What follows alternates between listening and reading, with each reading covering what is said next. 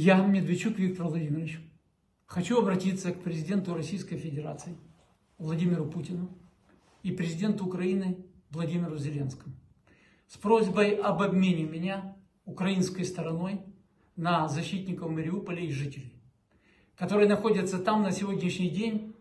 и не имеют возможности безопасного выхода через гуманитарные коридоры.